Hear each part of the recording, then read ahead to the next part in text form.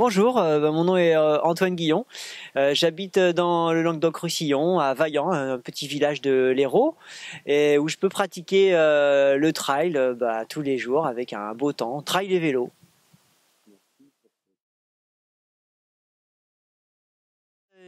J'ai été vainqueur l'année dernière euh, du euh, challenge euh, Ultra Trail World Tour, et puis vainqueur de la Diagonale des Fous, et puis quelques, quelques ultras à mon actif, spécialisé dans l'ultra.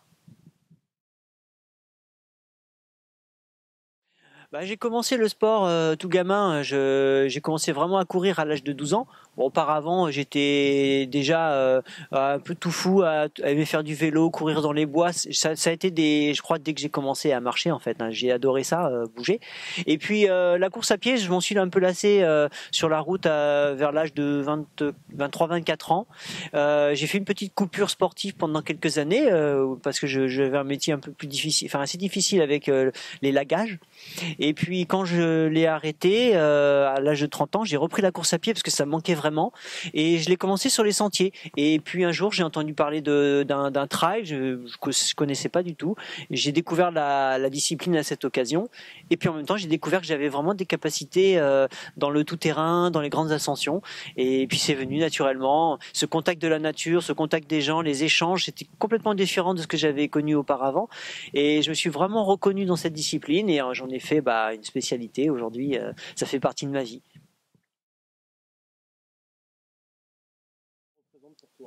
Alors, bah, la course, elle représente beaucoup pour moi parce que c'est euh, elle, euh, réunit tout, tout, tout, ce qui tout ce que j'aime en fait dans, dans, dans la nature avec la bon, sa proximité son côté sauvage euh, son côté aussi inaccessible parce que proximité, quand euh, j'entends par là d'être vraiment euh, au contact avec elle quand on est dans les petits sentiers, mais en même temps, elle est assez difficile d'accès parce que c'est assez vertigineux, euh, c'est austère, et euh, j'aime beaucoup l'harmonie qu'il y a entre le minéral et le, et le végétal, et puis toute la variété qu'on peut rencontrer quand on traverse l'île d'un bout à l'autre.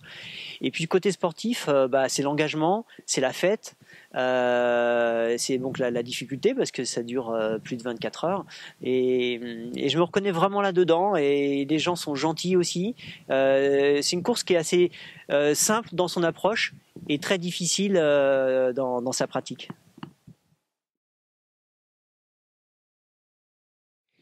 Pour moi, la, nutrition, elle occupe une grande place dans, dans la performance euh, parce que bon, il faut, il faut nourrir son corps euh, pour, pour qu'il soit euh, au, top. Et ça passe vraiment par, par, la qualité de les choix, les choix de, dans l'alimentation, les choix dans la supplémentation aussi. Et puis on parle de l'alimentation avant, mais aussi pendant l'épreuve, après en récupération. Donc pour moi, c'est, c'est, ça fait complètement partie de l'approche de la discipline. Alors au quotidien, euh, je, veille à l'équilibre euh, acido-basique de, mon estomac. Donc je fais un choix euh, d'aliments de, manière à, m'écarter au, minimum de, cet équilibre. Donc il y a toute une catégorie d'aliments que, je ne, consomme pas. Ensuite, eh je, veille selon mes objectifs, selon mon entraînement du moment, à, pouvoir renouveler ma fibre énergétique. Donc je vais être sur une alimentation un peu plus euh, dosé sur les protéines. Je vais faire attention quand je suis en charge aussi à pas me déminéraliser. Et, c'est aussi pendant mes entraînements, je, veille à avoir une boisson énergétique qui vient euh, compenser les pertes. Donc c'est tout un calcul. Euh, j'y veille au quotidien.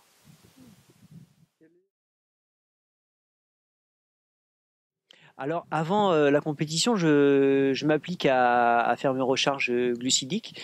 Euh, je m'applique euh, donc euh, à, à, surtout pas faire d'excès dans, dans, les acidités.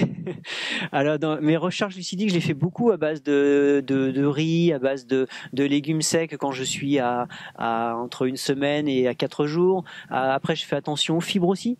je, je veille toujours à manger des légumes et je les prends d'abord crus, ensuite plus je m'approche de la course, ils sont ils sont cuits. Je fais attention à toute toute cette petite alchimie quoi. Ensuite, bah, le jour de le jour de la course, euh, j'ai euh, surtout une base de, boissons euh, énergétiques Et ensuite, euh, bah, pendant la course, je mange quand même pas mal de riz, de patates douces, euh, rarement des gels. C'est exceptionnel. Je peux avoir un gel en secours, si au cas où. barre plutôt énergétique, c'est plutôt en début de course, tant que je peux assimiler assez facilement. Et ensuite, je suis plutôt sur de la pomme de terre et, des, et du riz. Alors en récupération, bah, je prends la boisson de récupération euh, dans la demi-heure qui suit euh, mon arrivée. Euh, ensuite, bah, je refais un peu de recharge glucidique, mais pas trop, on va dire en quantité pour pas charger mon estomac qui est fragile après la course, mais quand même un minimum de manière à à pas être réveillé sans cesse la nuit pour manger parce que c'est ce qui se passe après un ultra. Hein. Souvent, on a un sommeil entrecoupé parce qu'on a faim. bon, en général, je sais que j'y ai droit. Hein. je me réveille à 3h, 4h du matin, deux nuits d'affilée et je me prépare déjà euh, euh, bah, en fait des légumes. J'aime bien euh, me réminériser avec pas mal de légumes, des protéines avec un peu de poisson, une viande blanche, et puis après bah, je reprends petit à petit une alimentation normale.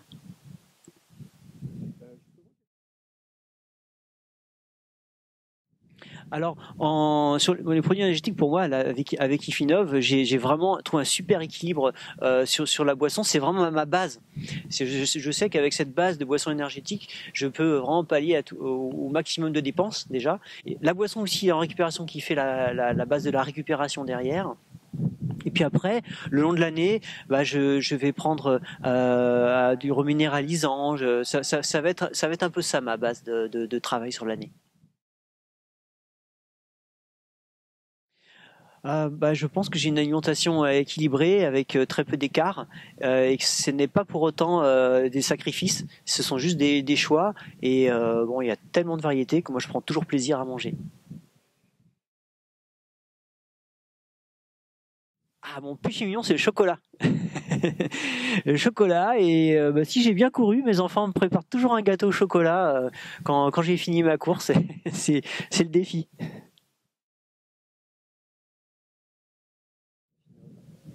Ah bah je, moi je me suis associé à Efinov parce que pour moi c'est ça, ça, ça représente le, la, la, la garantie d'avoir la réussite dans, dans, dans ma pratique.